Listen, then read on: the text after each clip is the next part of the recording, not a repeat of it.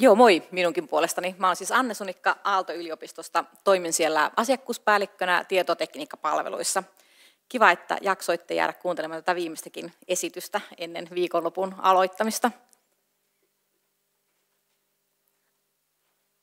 Mä nyt vähän sooloilin tässä, kun kaikki muut puhuu avoimesta tieteestä ja tutkimusta, niin, tutkimuksesta, niin mä, mä puhun sitten vähän muistakin arkkitehtuureista. Mä puhun tuosta tuhaviitearkkitehtuurista, eli tutkimuksen tuen ja hallinnon viitearkkitehtuurista, ja sitten mä puhun myös tuosta Aalto-yliopiston kokonaisarkkitehtuurista, että mihin me nyt oikein näitä kaikkia muita arkkitehtuuria, viitearkkitehtuuria oikein niin yritetään sit yhdistää. Mä näkisin, että mä olen tässä niin kuin kahdessa roolissa. Toisaalta mä olen niin kuin se niin kuin palvelun käyttäjä ja sitten palvelun tarjoaja sit siellä yliopistossa muulle yliopistolle. Ja toisaalta mä olen sitten myös toimija tässä tuhaviitearkkitehtuuritiimissä ja myös tuossa ATTn palvelutyöryhmässä.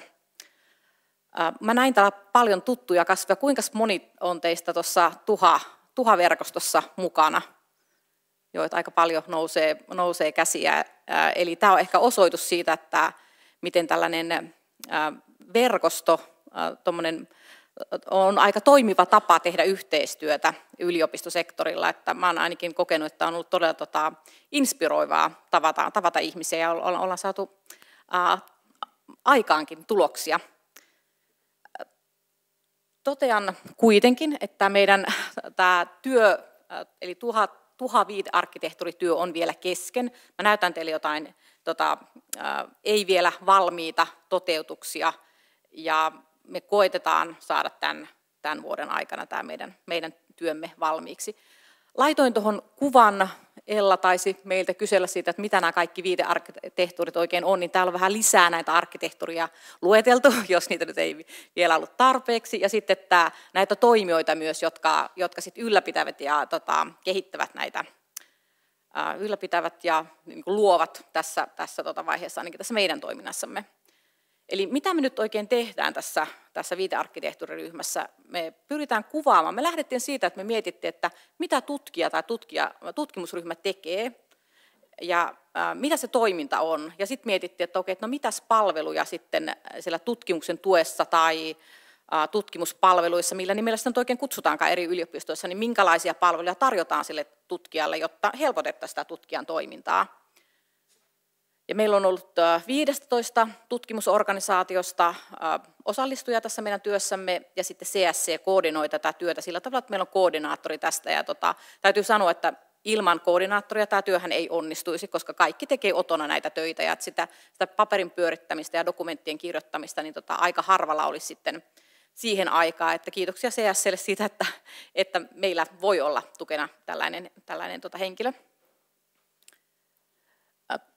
Tässä pikkasen, että mitä tässä meidän ryhmässämme pyritään, tai mitä tämän vuoden aikana pyritään saada aikaiseksi. Tämähän on toinen, toinen toimintavuosi, ja aloitin tosiaan tuon ryhmäpuheenjohtajan nyt tämän vuoden alusta, ja tämän vuoden aikana pyritään ensimmäisen kerran kuvaamaan se, että minkälaista minkälaista, tota, minkälaisia tutkimuksen tuen palveluja ja prosessia on olemassa aika korkealla tasolla eri yliopistoissa. Sen, sen verran korkealla tasolla, että, että sitä voidaan käyttää hyödyksi siellä yliopistossa, eikä ruveta kiistelemään, että okei, että no meillä, meidän yliopisto tehdään tämä asia tällä tavalla, että ei tämä ole oikein, mitä, mitä tota me olemme tässä miettineet.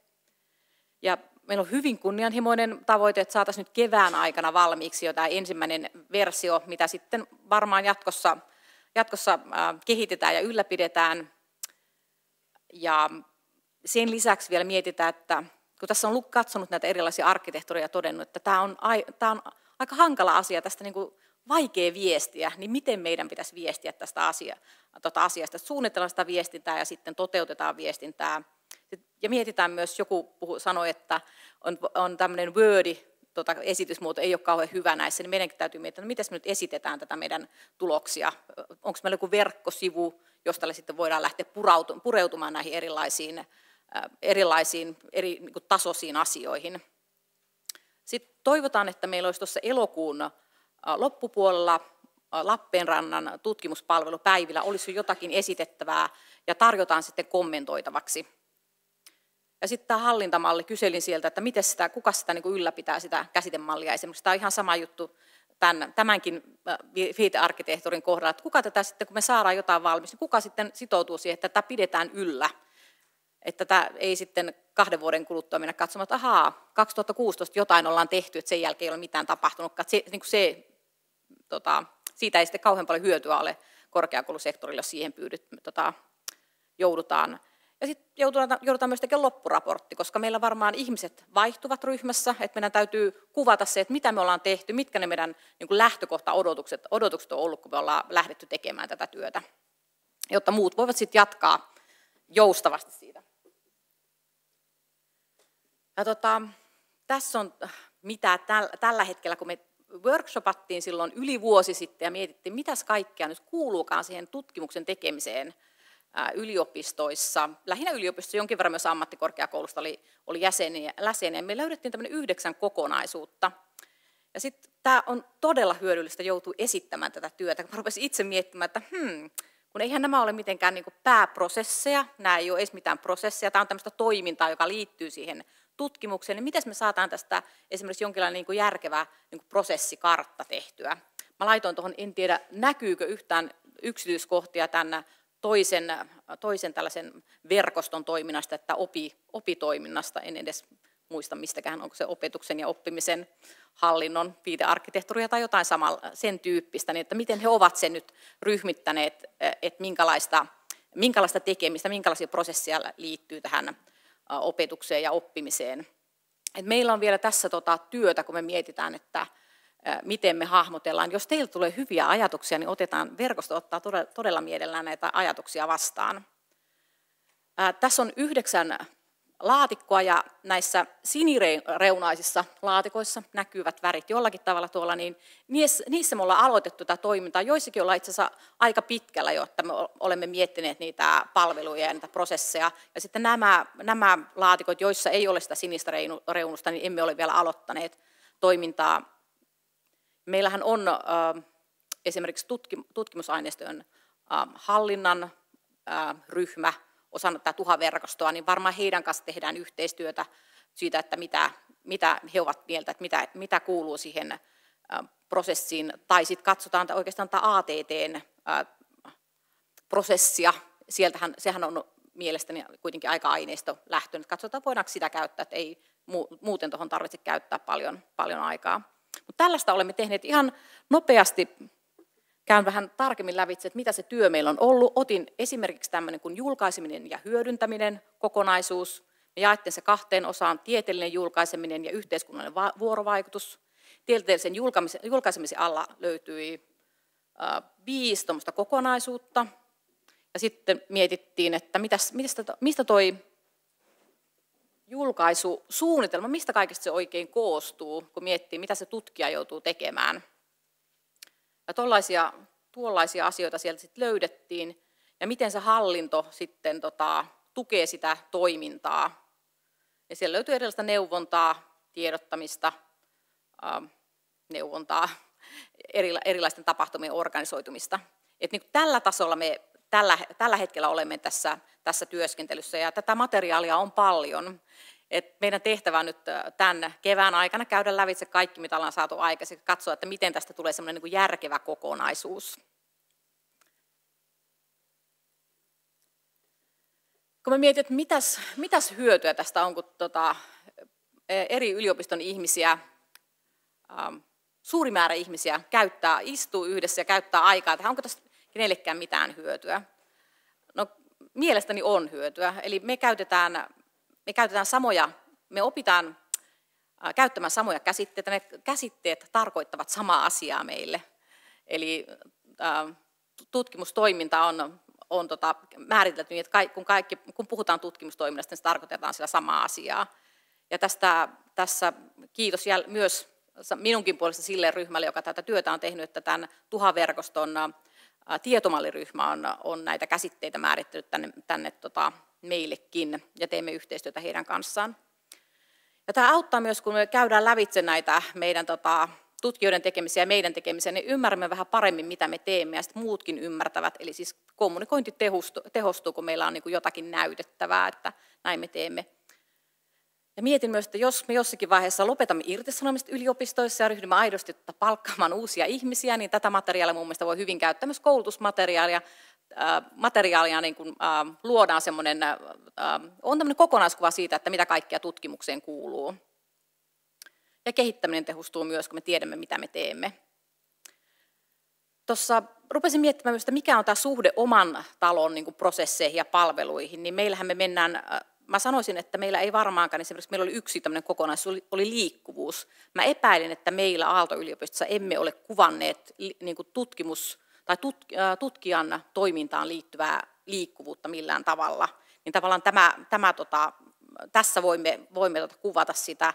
Meillä on varmaan tämän ikään kuin tutkimuksen pääprosessit, tutkimusrahoituksen hakeminen tai tutkimusprosessi, niin ne on kuvattu, ja ne on kuvattu paljon yksityiskohtaisemmalla tasolla kuin mitä tässä ollaan kuvattu. Että ne mun mielestä ei sillä tavalla eivät, eivät kuitenkaan tota, ole ristiriidassa keskenään. Ja ehkä siellä meillä ja muissa yliopistoissa voidaan myös oppia, kun katsotaan, että yhteistyössä ollaan tehty tällaista ää, aika iso homma, niin voidaan katsoa, että ahaa, tuolla, tuolla on tollaisia kokonaisuuksia kuuluu tämän, tämän alle, että ehkä meillä on jäänyt jotain huomaamatta tai voidaan tehdä asioita eri tavalla. Eli kommunikointia ja sitten niin kuin oppimista olisi aika pitkälti mitä hyötyä tästä, tästä viitearkkitehtuurista mun mielestä olisi eri toimijoille. Sitten mennään oikeastaan tähän päivän ehkä epistolaan. Katson vähän myös tätä käyttäjän näkökulmasta tätä, tätä avointieteen, avoimen tieteen arkkitehtuuria. Tämän päivän pakollinen kuva kaikilla esiintyjillä on tainnut tämä olla, mutta ehkä tämä kuvaa sen, että tämä on hyvä kuva. Että tässä on se tutkimuksen niin kuin tekemisen pääprosessi hyvin kuvattuna. Mä heti näin, kun tämä, tämä tuli, mä että okei, tämä olisi hyvä tohtorikoulutettavilla, kun he tulee tänne, niin heti ensimmäisellä tota, Introduction to Scientific Thinking tai mitä muuta tahansa onkaan nimellä, niin katso, näytetään heille, että okei, tällä, tällaista tämä tutkimuksen tekeminen on, tällaisia vaiheita tähän kuuluu. Tai sitten meillä, meillä tietohallintopalveluissa voitaisiin näyttää, että okei, että meidän pitää ymmärtää niitä meidän tutkijoita. Meidän tutkijat tekevät tällaista työtä. Tätä, tämä, nämä asiat kuuluu heidän työhönsä.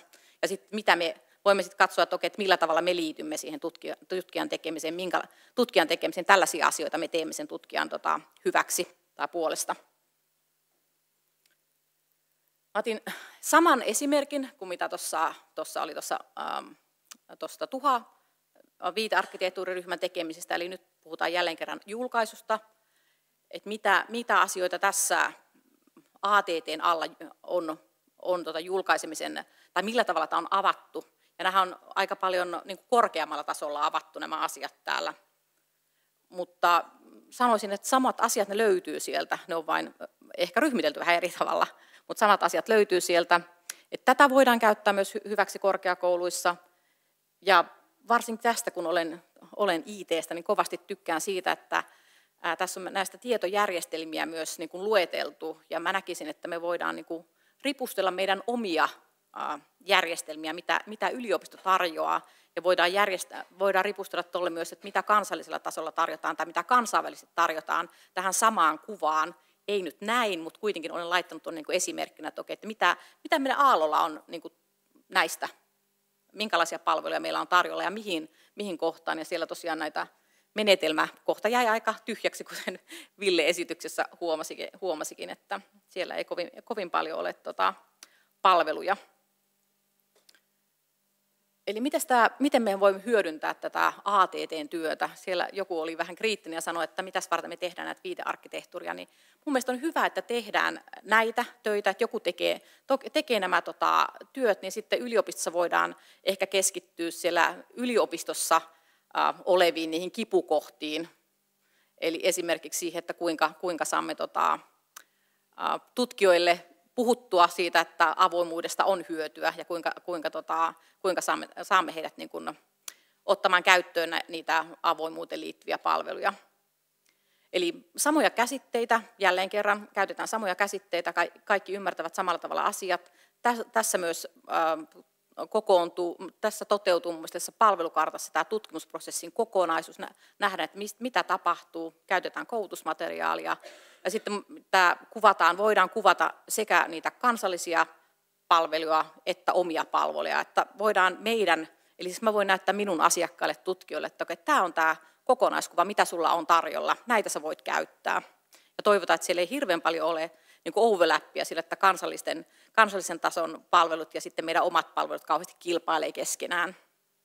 Et, et jokaisella olisi, tota, tota, ja eikä toisaalta olisi kauhean paljon käppiä, että ei ole minkäänlaisia palveluja tarjolla johonkin, johonkin tärkeään tekemiseen. Sitten vielä, vielä Aalto-yliopiston kokonaisarkkitehtuuri, mitä se nyt sitten oikein on? Että miten, se, miten, se, tota, voidaanko, miten me voidaan käyttää tätä viitearkkitehtuuria sitten tuolla meidän omassa toiminnassa. Ihan esimerkinomaisesti äh, laitoin tähän kokosi, että mitä me nyt on tässä arkkitehtuurityössä nyt tässä viimeisen vuoden aikana tehty tuolla, tuolla Aalossa. No arkkitehtuuriperiaatteet niin kyllä jo muokattiin varmaan nelisen vuotta sitten – integraatioalusta, integraatiot todella tärkeitä. Me tehdään roadmappeja eri sektoreille, tehdään opetukselle, tutkimukselle erilaisia roadmappeja, hallitaan informaatiota, mietitään masterdataa, paikkoja. Sovelluskartan alla pitäisi olla niin meidän kaikki tietojärjestelmät ja sovellukset. Mietitään teknologiaa, mitkä on ne teknologialinjaukset, mitä, mitä halutaan käyttää. Ja nyt ihan uutena on ollut meillä toi strategia uudistui ja nyt me mietitään, että miten tämä uusi Aallon strategia, niin miten se vaikuttaa meidän IT-strategiaan, muuttaako se jotakin meidän toiminnassa vaiko eikö. Jos se muuttaa, niin miten se muuttaa. Ja tämä HIT-sana, tämä digitaalinen, digital transformation, meillä on myös tämmöinen aika, aika tota kunnianhimoinen digitaalisen transformaation ohjelma, jossa, jossa tota arkkitehtuurivetoisesti mietitään, että jos jos, tota, tai jos sanomme, että me olemme digitaalinen yliopisto, niin mitä se tarkoittaa, minkälaisia palveluja meillä oikein pitäisi olla siellä. Et kaikkea, kaikkea tällaista siellä touhutaan. Ihan esimerkkinä näytän, ei varmaan, ette varmaan saa mitään selvää, meidän tämmöistä arkkitehtuurin repositorista sovelluskarttakuvan, johon olemme kuvanneet sen, että mitä on tuolla, tuolla ihan vasemmassa laidassa on ITn ylläpitämiä järjestelmiä. Sitten nämä kaikki muut on meidän koulujen sovelluksia. Siellä laitoksilla on hyvin paljon erilaisia sovelluksia. Olemme keränneet tietoa siitä aika pitkälti sen takia, että katsomme, että voimmeko yhdistää esimerkiksi lisenssejä eri laitoksilla, eri kouluilla. Ei ole mitään järkeä, että jokainen maksaa, maksaa omistaan tai maksaa erikseen pari lisenssiä, jos, jos voidaan niin yhdessä koota yliopistolle sanotaan joku 50 lisenssin, lisenssin tota joukko ja ostaa se sitten keskitetysti. Et tällaista, tällaista työ, työtä täällä tehdään. Ja täällä on tosiaan tämä on se, niin se tietojärjestelmätaso myös meillä, mitä, mitä näytetään. Sen lisäksi äh, otin, mietin, että miten, tämä, miten nämä näkyy, nämä, tämä viitearkkitehtuuri tässä meidän, meidän arkkitehtuurityössä, niin se näkyy ehkä tällä palvelu, palvelukonseptitasolla. Joku taisi sanoa tänään, tai sanoikohan, että, no, että viitearkkitehtuuri on vähän niin kuin hankalaa, kun siellä käytetään erilaisia kummallisia sanoja, ne ihan normaalia sanoja, niin tämäkin on ehkä, tämä, tämä on tullut siitä meidän, meidän tota, reposterista, niin käytetään tällaisia sanoja kuin palvelukonseptit ja work packageit, ja mä joitakin olen muuttanut täällä, e, ja, e, eli saattaa olla, että siellä on sellaisia termejä, että kun ihminen rupeaa ensimmäisen, kerran katsomaan, ei oikein ymmärrä, että mitä sitä nyt oikein tarkoitetaan. että se on se olisi niin kuin tärkeä viesti kaikille, jotka, jotka puhuu tuosta niin arkkitehtuurista tai puhuu yli, ylipäätänsä IT-järjestelmistä, että muutetaan se kieli sellaista, että ihmiset ymmärtää sitä aidosti. Eli tässä on, mitä, tota, missä tämä näkyy, esimerkiksi tämä, tämä tuolla Work Package-tasolla näkyy tämä Open Access Publishing, se näkyy tuolla, ja tutkimusten hallinta näkyy myös tuolla tasolla. Ja sitten tuossa, tonne, tonne, ää, nämä on niin palvelukonseptit, niin isompia kokonaisuuksia, jotka koostuvat sitten noista work packageista. Ja tuolla tasolla me ruvetaan sitten miettimään, että open access, hmm, mitäs, tota, mitäs me olemme tehneet, onko meillä jotain kansallisia palveluja, voimmeko sanoa, että olemme ikään kuin valmiita tässä, miten sitä pitää kehittää sitä toimintaa, ja samalla tavalla, samalla tavalla tuosta tutkimusdatan hallinnassa, missä vaiheessa tällä hetkellä olemme ja mitä pitäisi tehdä. Ja tässä on myös lueteltu muutamia järjestelmiä, mitä meillä, meillä tällä hetkellä on käytössä niin kuin tutkimuksen, tutkimuksen tarpeisiin.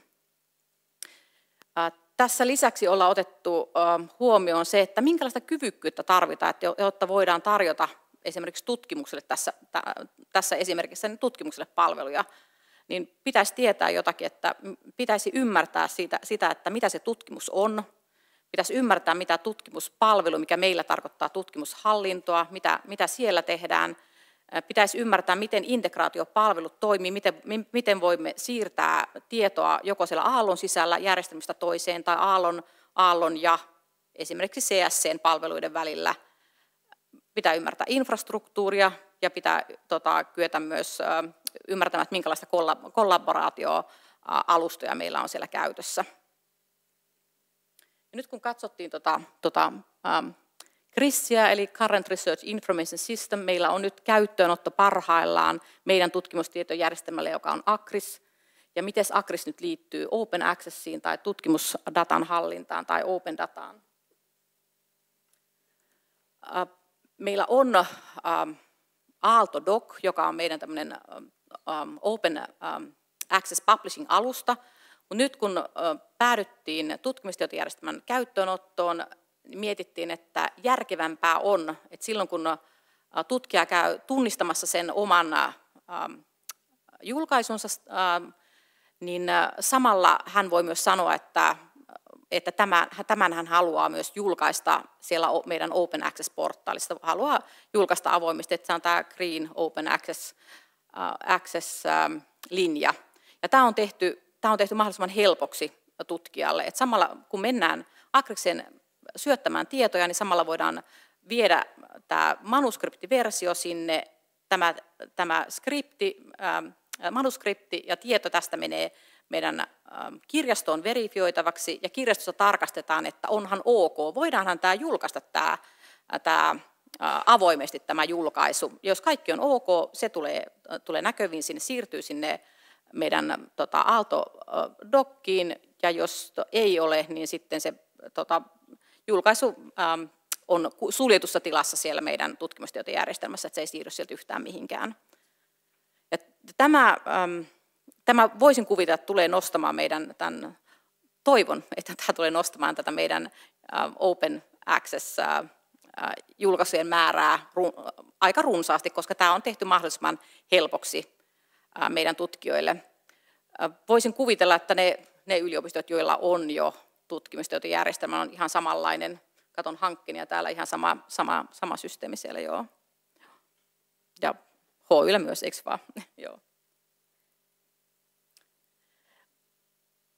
Mm, tutkimustietojärjestelmä mahdollistaa myös sen, että sinne syötetään datojen metadatoja ja sinne syötetään myös datasettejä. Se, että mikä Aallon metadata katalogi tulee olemaan, ei siitä ei ole tehty vielä, vielä, päätöstä. Mä epäilen, että, että Akris tulee olemaan yksi vaihtoehto, mutta jos se master metadata katalogi tulee olemaan jossakin muualla, niin me sitten siirrämme niitä tietoja tuolta Akriksesta siihen meidän maasterdata-paikkaan. Mä luulen, että tämä on tämä on niin kuin, tämä jälleen kerran tämä olisi helppo paikka, tästä on pyritty tekemään helppo paikka.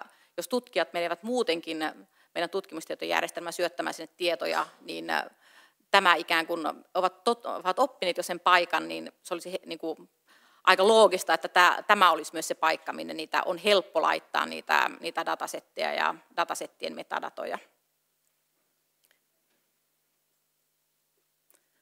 Ja mitäs tota, nyt kun mietin, että miten tämä mm, miten me tätä meidän äh, kokonaisarkkitehtuuria sitten hyödynnetään tuolla, tuolla yliopistossa. Me koetaan se niin, että se to, äh, tukee meidän ydintoimintaa, äh, koska se luo, luo kokonaiskuvan siitä, että mitä me teemme yliopistossa. Sitä käytetään siihen, että sovitaan vähän pelisääntöjä, että miten, miten me toimimme, mitä esimerkiksi, jos meillä on, otetaan käyttöön aallon laajuinen järjestelmä, meillä yksi pelisääntö on se, että meillä se on sippoloitu järjestelmä. Eli vaadimme palveluntarjoajalta, että teidän täytyy sippoloida se, että se on niin helppokäyttöinen. Päästään eroon niistä lukuisista erilaisista salasanoista, mitä, mitä aikaisemmin jouduttiin ylläpitämään. Ähm, mun mielestä tämä kokonaisarkkitehtuurin tehtävä yliopistossa se, että siellä kerätään tietoa ja sitä hallinnoidaan sitä tietoa, pyritään pitämään se tieto mahdollisimman ajantasaisena. Ja viitearkkitehtuurit tukevat sitten yliopistoja tässä kokonaisarkkitehtuurityössä. Sieltä tulee tietyn tason niin kuin palvelu- ja prosessikuvauksia, jota voidaan sitten täydentää siellä, siellä yliopistossa. Ja lähdetään siitä, mietitään sitä toimintaa, eli palveluja ja prosessia, mietitään tietoja, mietitään sitten tietojärjestelmiä ja teknologiaa. Ja se teknologia puoli ja se tietojärjestelmäpuoli on niin se yliopistospesifi, mutta nämä muut on mun mielestä sellaista, joissa meidän niin pitää ja kannattaa tehdä yhteistyötä. Ja mikä on sitten semmoinen arkkitehtuuri, mitä on helppo hyödyntää? Mä näitä olen tota, katsellut näitä ä, erilaisia arkkitehtuuria tässä vähäsen, niin ensimmäisenä varmaan tulee se, että, että käsitteet on määritelty, kaikki lyhenteet on määritelty. Eli se on selkokieltä, ettei ymmärrä, ei, ei tota, mietitä tämä, tämä työskentely jotenkin IT-puuhastelua, Eli ei käytetä niitä, niitä tota lyhennyksiä niin valtavasti. Ja sitten mietin sitä, että mit, miten se tehdään ymmärrettäväksi. Niin mietin, että pitäisikö se olla samalla tavalla kuin jossakin kirjanpitojärjestelmässä pyritään niin pura, pura, porautumaan tiettyihin tietoihin, niin pitäisikö meillä kanssa miettiä, että meillä pitäisi se, tota, tämän esitysmuoto pitäisi olla sellainen, että me voimme, aloit, aloitetaan sieltä isommasta kuvasta, poraudutaan niiden yksityiskohtiin, jotta me ymmärretään se, ymmärretään se kokonaisuus ja varmaan tämä visuaalisuus kunniaan, että, että saadaan, se, saadaan se iso kuva, kuva tota helposti ymmärrettäväksi. Ja kun katsoin tota meidän, meidän tota tietoja, niin meidän omia, omia tota arkkitehtuuritietoja, niin huomasin, että osa niistä oli aika vanhoja, että niitä ei ollut päivitetty sieltä. Että, ja olisin ehkä käyttänyt enemmän esimerkkejä sieltä meidän järjestelmässä, jos ne olisi, ollut päiv- ne olisi, olisi äh, ollut päivitetty. Eli siitä ei ole kauhean paljon hyötyä siitä, minkälaista, minkälaisesta tota arkkitehtuurista ei ole mitään hyötyä, jos ne ei ole ajan tasalla ne tiedot siellä. Eli silloin kun, silloin kun tota, kehitetään sitä toimintaa, niin sovitaan myös samalla, kuka, kuka ylläpitää niitä, niitä tietoja. Ja tärkeää on myös se, että mä yritin tässä osoittaa teille, että se ei ole pelkästään näitä ATTn arkkitehtuuri, jota meidän pitää katsoa, vaan se on se, niin kuin se tutkimustoiminta yleensäkin. Ja miten me liitetään se ATT meidän toimintaan, miten me liitetään tuolta tuhaviitearkkitehtuuri siihen meidän yliopiston toimintaan. Ja niissä pitäisi jokaiselle miettiä vähän, että, okei, että mikä, se, mikä se niiden arkkitehtuurien rooli on ja mitä, mitä niihin, mihin, ne, niitä, mihin ne sopivat hyvin. Eli kullakin on ja, tota, oma roolinsa ja siinä täytyy tehdä vähän työtä, että saa ne palaset ikään kuin istumaan paikoilleen. Eli tässä oli pikatykityksenä ja aikaakin jäi vielä. Että olisiko jollakin jotain kysymyksiä?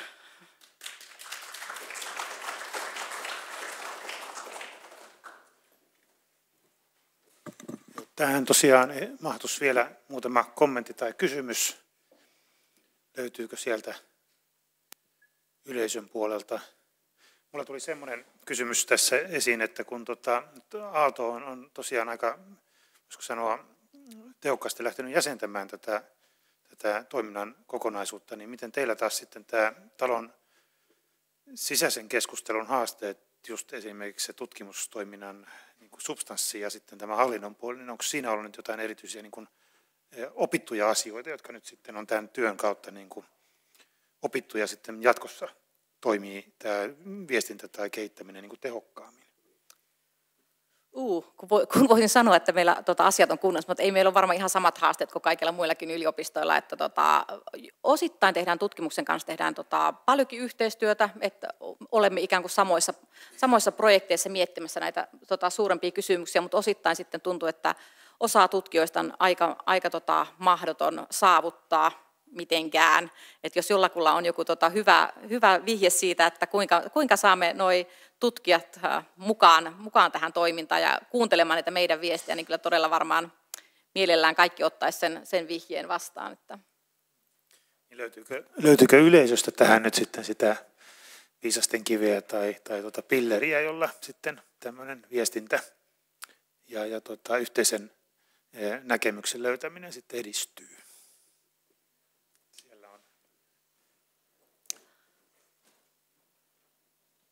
Timo Korkeamäki Hankkenilta ei tule viisasten kiveen. Voi sääli. Mä oikeastaan haluaisin mielelläni kuulla, että miten teillä on järjestetty nämä kielikysymykset. Mä vähän hitaasti syttyvää sorttia ja tämä on ehkä relevantti muihin kuin sun esitykseen tänä päivänä, mutta Täällä ollaan puhuttu pelkästään suomea tänä päivänä ja kaikki slaidit on ollut suomeksi. Hyvä myös. kysymys. Ja, ja meillä on aika suuri osa kansainvälisiä tutkijoita, joilta kaikki nämä tarkasti ja työllä määritellyt käsitteet menee ohi.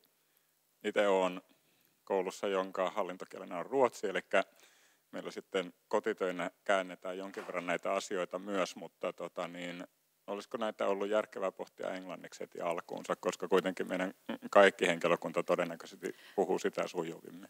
Mä vastaan ensin Aallon puolesta, Juha saa sitten vastata tota, yleensä ATTn puolesta. Aallossa mietitään, että meidän työkieleksi tulisi englanti mahdollisesti. Mutta se, että tuleeko näin ja milloin tulee, niin se ei ole varma. Mutta aika paljon tästä materiaalista, jotta me voimme käyttää sitä hyväksi meillä, meidän täytyy kääntää se englanniksi. Ja Juha. Joo, siellä oli vielä yksi tähän tosiaan OKM puolesta vastaan. Tosiaan tässä jo mainittiin, että nyt tätä ATT-viitearkkitehtuuria niin on tarkoitus sitten kevään mittaan ja itse asiassa koko vuoden ajan niin sitten viestintätarkoituksiin tälleen, voisiko sanoa, eri kohderyhmille niin paketoida. Eli, eli melko paljon tällaista työtä tehdään jo toukokuuhun mennessä, mutta sitten syksyllä jatketaan. Ja yksi osa tätä työtä on se, että myös niin kuin englanninkielistä ja osittain myös ruotsinkielistä materiaalia syntyy. Tässä yksi haaste on se, että kohdeyleisöjä on, on myös paitsi tämä kansallinen niin kuin toimijajoukko, jolla voi työkielenä olla hyvin englanti tai ruotsi, mutta myös se, että sitten halutaan tästä kansallisesta arkkitehtuurista viestiä myös kansainvälisellä tasolla, niin että se siellä ymmärretään. Ja siinä on se haaste, että kun tämä on niin kansallinen arkkitehtuuri, jota ei vielä suoraan esimerkiksi soveltaa Euroopan tasolla, vaan tämä niin kuin liittyy sitten muihin kansallisiin arkkitehtuuriin, jotka jollain tavalla pitää koota Euroopan tasolla, niin meillä on sitten vielä myöskin tämmöistä viestinnällistä työtä ihan tehtävissä että eri kohderyhmille. Mutta tämä kielikysymys on yksi asia, joka tässä tosiaan viestintäpuolella nyt on tarkoitus kevään mittaan ja syksyllä. Ehkä vielä semmoinen mainos, että vaikka päivämäärä ei ole tiedossa, niin meillä on syksyllä tosiaan tämä Aumen tieteen ja tutkimuksen foorumi ja sen yhteyteen on tarkoitus tämmöinen pohjoismainen teemapäivä. Ja sielläkin on myös tarkoitus sitten näitä asioita esitellä silleen kansainvälisessä kontekstissa. Siellä oli vielä yksi kommentti. Kiitoksia Riitta Rahkonen Luonnonvarakeskuksesta. Mä olen tässä kiivaasti naputellut ja tehnyt, tehnyt tota, ei edes, mutta seuraavan viikon tämmöisen projektikeskuksen kehittämispäivän ohjelmaa. Meillä on nimittäin semmoinen, että miten saada tutkijat mukaan, niin me, mä, mä olen itse aloittanut nyt vuoden vaihteessa tämmöisen projektikeskuksen johtajana tai päällikkönä, jossa on nimenomaan tarkoitus nyt järjestää mahdollisimman sujuvat tutkimuksen tukipalvelut. Ja ja tämä on osa tämä mun ryhmäni sitten tutkimuksen tukipalvelut yksikköä ja ollaan nyt kutsuttu sitten tähän kehittämispäivään päivään niin kuin nyt näistä tukipalveluista kaikista porukkaa mukaan, siis tyylihenkilöstöhallinto, talous, toimitilat, infra, sopimukset, lakimiehet ja niin edelleen. Ja me nostetaan nimenomaan nyt, tarkoitus on se, että nostetaan se, niin kuin se tutkimusprojekti ja sen eri vaiheet keskiöön. Ja lähdetään miettimään niin kuin sen tutkijan kannalta sitä, että mitkä, mitkä tota, mitä hänen pitäisi muistaa missäkin vaiheessa ja mitä ohjeita ja templaatteja ja niin edelleen meillä on jo olemassa. Ja, että no, niin kuin, ajatuksena on se, että nostetaan se tutkimusprojekti keskiöön ja ruvetaan miettimään sen kautta eikä niin, että kaikki niin kuin miettii sen oman, omansa kautta. Tämä on nyt meidän niin kuin kokeilu, että katsotaan, miten me siinä onnistutaan, että jos haluat joskus kuulla, että miten tämä lähti menemään, niin mä voin sitten kertoa myöhemmin. Joo, tämä otetaan muistilistalle välittömästi ja sitten sopivan ajan kuluttua palaamme asiaan.